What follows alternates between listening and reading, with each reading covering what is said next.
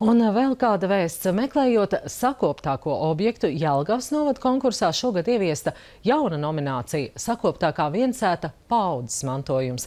Tajā par pirmo uzvarētāju kļuvušas Glūdas pagasta Lielzariņa mājas, kurās jau ceturtajā paudzē dzīvo Eltermaņa dzimta un stāsta TV spektrs. Zemgāles lauku ainavai Aleži bijušas raksturīgas viencētas. Tāda ir arī Lielzariņu saimniecība Jelgavas novada Glūdas pagastā. Šajās mājās jau ceturtajā paudzē saimnieko Eltermaņu dzimtas Jāņi.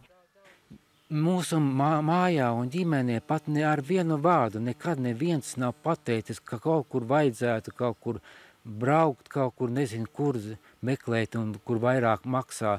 Es nesaprotu tos cilvēkus.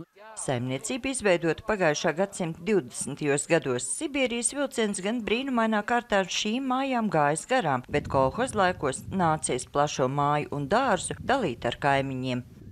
Diemžēl tāds bija, bet mēs 70. gadu pašās beigās, 79. gadā atpirkām visu no kolhoza un kļuvām piln, pilnīgi saimnieki šīs mājās.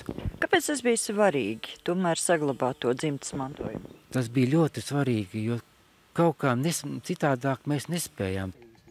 Pēc neatkarības atgūšanas šeit atkal izveidota zemnieku saimniecība. Vienlūp vietā tagad plešas labības lauki, bet par priekšteču darba tikumu atgādina senie darbrīki, no kuriem tagadējais saimnieks cer izveidot nelielu muzeju. Bet Jāņa paša lielais vaļas prieks ir dažādi vidas objekti. Starp simtgadīgiem ozoliem un puķu dobēm slēpjas ap 20 dažādu piļu, kas veidotas gan no cementa, gan dažādiem vēsturiskiem materiāliem. Tiešām izmantoju se, se, seno laiku dakstiņu atlūzas, kuras sasmalcinu sīkos gabaliņos un arī tāpat ar gleznotāju otiņu piestiprinu klāt Jelgavas novada konkursa nominācijās sakoptākā viensēta paudzes mantojums šogad iegūta pirmā vieta. Jānim tas bijis pārsteigums, tomēr viņš tic, ka šāds konkurss par savām saknēm liks aizdomāties vēl kādam, jo, kā zināms, nekur nav tik labi kā mājās. Sandra Letāna, Andris Pāns, TV Spektrs.